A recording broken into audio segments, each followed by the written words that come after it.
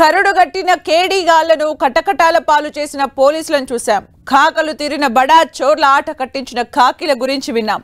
కానీ ఎప్పుడైనా ఎక్కడైనా దొంగతల దొంగలతో దోస్తీ కట్టిన పోలీసులను చూశారా? చోరీ చేసిన సొమ్ములో దొంగలతో కలిసి వాటాలు పంచుకున్న కాకిల గురించి విన్నారా? దొంగలతో దోస్తీ కట్టిన ఆ పోలీసులు ఎవరో మీరే చూడండి.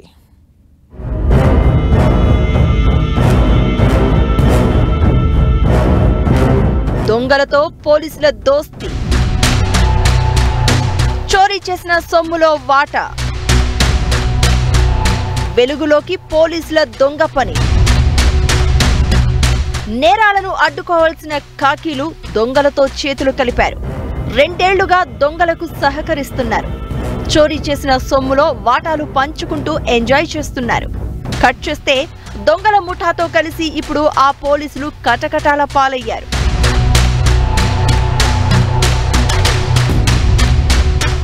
హైదరాబాద్లో ఇటీవలి కాలంలో చైన్ స్నాచింగ్స్ సెల్ ఫోన్ల దొంగతనాలు గణనీయంగా పెరిగాయి. దీంతో సెల్ ఫోన్స్ చోరీ చైన్ స్నాచింగ్స్ పై పోలీసులు ఫోకస్ పెట్టారు. అయితే జూలై ఇరవై మూడవ తేదీన ఎర్రమంజిల్ మెట్రో స్టేషన్లో ఫోన్ దొంగిలించడానికి ప్రయత్నించిన ఓ వ్యక్తిని ప్రయాణికుడు పట్టుకుని పోలీసులకు అప్పగించాడు. నిందితుడు వెస్ట్ బెంగాల్కు చెందిన అల్ అమీన్ ఖాజీగా గుర్తించారు. నిందితుడిని విచారించగా తాము గ్యాంగ్గా ఏర్పడి నగరంలో ఫోన్లను దొంగిలిస్తున్నట్లు ఒప్పుకున్నాడు. ఈ నిందితుడు ఇచ్చిన సమాచారం ఆధారంగా ఎంఎస్ మక్తాలో ఓ ఇంటిపై పోలీసులు దాడులు నిర్వహించారు. ఈ ఇంట్లో ఫోన్లు చైన్ స్నాచింగ్ చేస్తున్న మరో ఆరుగురిని పోలీసులు అదుపులోకి తీసుకున్నారు. వీరిని తమదైన శైలిలో విచారించిన పోలీసులకు విస్తుపోయే విషయాలు తెలిసాయి. ఈ దొంగలతో ముగ్గురు పోలీసులు దోస్తీ కట్టారని పోలీసులకు తెలియడంతో ఒక్కసారిగా షాకుకు గురయ్యారు.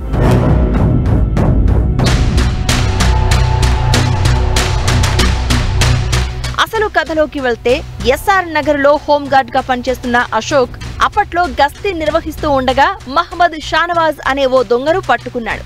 చిన్న కేసు పెట్టి ఆ దొంగను పోలీసులు వదిలేశారు. అలా వదిలేసిన ఆ దొంగతో హోంగార్డ్ అశోక్ స్నేహం చేశాడు. అలా ఆ దొంగల ముఠా ఎక్కడైనా పట్టుబడినా హోంగార్డ్ అశోక్ వకాల్తా పుచ్చుకుని దొంగల మీద కేసు కాకుండా బయటకు తీసుకొచ్చేవాడు. అందుకు ప్రతిఫలంగా వాటాలు పంచుకునేవాడు. అయితే అశోక్ నగరంలో వేరే చోటుకు ట్రాన్స్ఫర్ అయినా కూడా దొంగతో స్నేహం వీడలేదు. హైదరాబాద్కు కొత్త దొంగల ముఠా వచ్చినప్పుడు ఆ ముఠా సభ్యుల ఫోటోలు అశోక్కు పంపించి ఎక్కడైనా పట్టుబడితే కేసు లేకుండా చేయాలని చోరీగాళ్ళు అశోక్తో ఒప్పందం కుదుర్చుకున్నారు. ఇదే సందర్భంలో గాంధీనగర్ సైఫాబాద్కు చెందిన ఇద్దరు కానిస్టేబుళ్ళు సోమన్న సాయిరాంలకు అశోక్ ఈ దొంగల ముఠాను పరిచయం చేశాడు.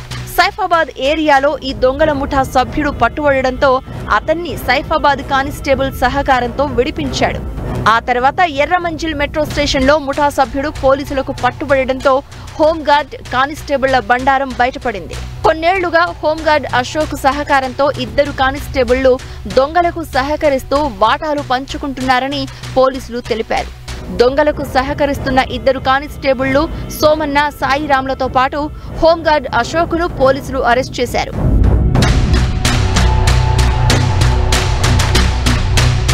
ఈ కేసు విచారణలో పోలీసులు విస్తుపోయే విషయాలు వెల్లడించారు. దొంగలతో సొమ్మును పొందుతున్న హోంగార్డ్ అశోక్ తెలివిగా తన నెంబర్ ఖాతాలో డబ్బులు వేసుకోకుండా భార్య ఖాతాలో డబ్బులు జమ చేసుకుంటున్నాడు. ఎప్పుడూ దొంగల ముఠా వద్ద నగదు తీసుకొని అశోక్ ఓసారి తనే తన భార్యకు ఫోన్ పే చేయడంతో తతంగం బయటపడింది. దర్యాప్తులో భాగంగా ఆ, ప్రొసీజర్ ప్రకారంగా సాక్ష్యాధారాలు కలెక్ట్ చేసిన తర్వాతనే తదుపరి చర్యలు ఉంటాయి.